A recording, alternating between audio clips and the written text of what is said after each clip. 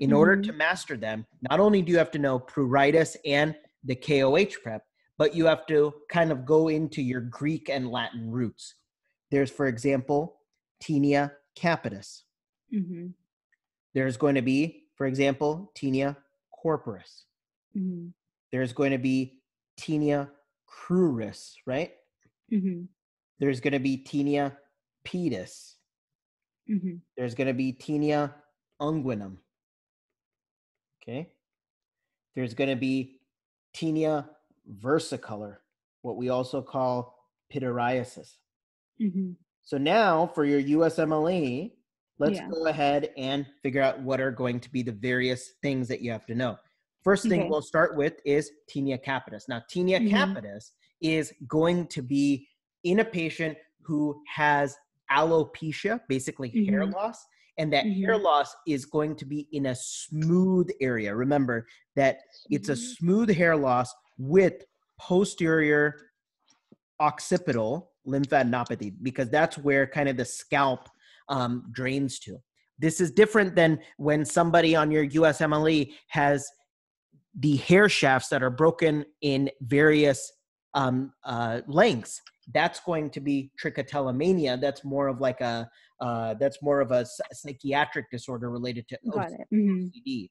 But this Okay. is associated with posterior occipital lymphadenopathy, alopecia, and Mhm. scaling right there as well.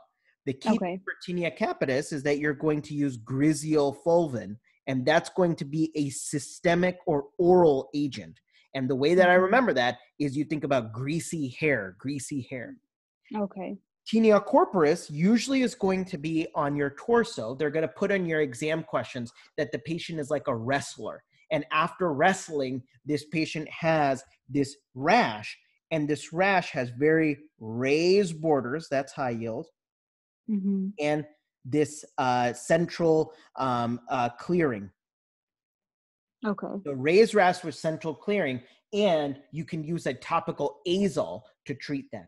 But this is going to be more acquired from contact. So some of the exam questions can say, "How do you best prevent this?" And it sanitize the mats for the Got rest. it. Okay. Tinea uh, cruris is going to be what we call jock itch. And this occurs in the inguinal region.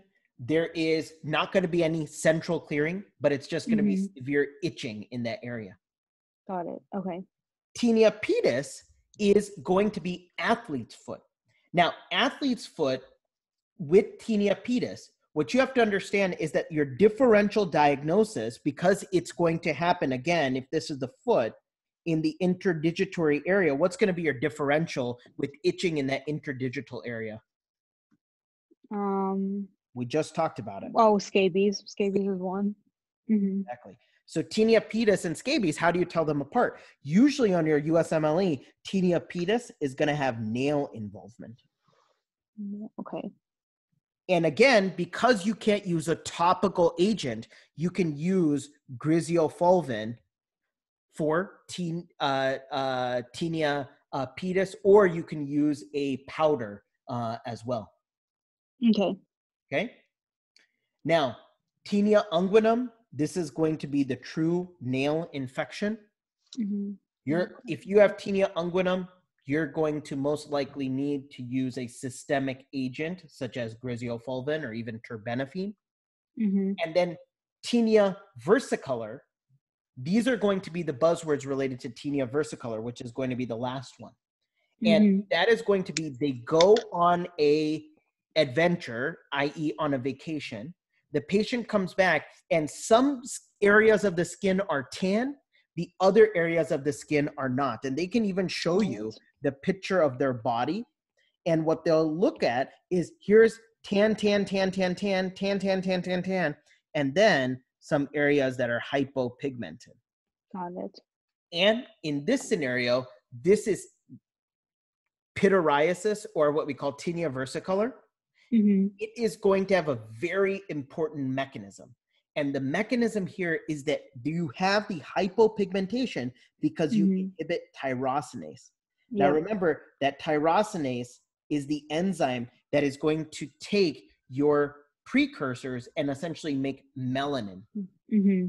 And so that's why you get the hypopigmentation. If you look at it under the uh, microscope, you'll see Mhm. spaghetti and meatballs appearance.